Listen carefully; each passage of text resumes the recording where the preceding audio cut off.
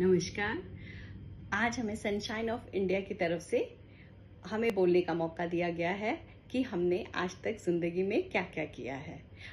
Myself doctor Richa Ranjan principal Swami Devidayal law college which is the only college in Panchkula और मैं इस field में twenty years से हूँ और बहुत सारे मैंने वकील जो कि प्रैक्टिस में बहुत उन्नति कर रहे हैं।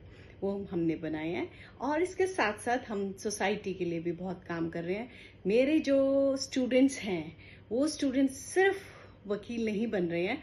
उसके साथ साथ वो लोग सोसाइटी में भले के लिए भी काम करते हैं, फ्री ऑफ़ कॉस्ट भी कर रहे हैं और लोगों को लीगल एड कैंप्स भी लगाते हैं और पर्सनली हेल्प करते हैं, जो कि जरूरतमंद होते हैं।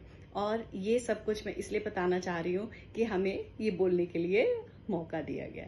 Thanks thank you so much sunshine of India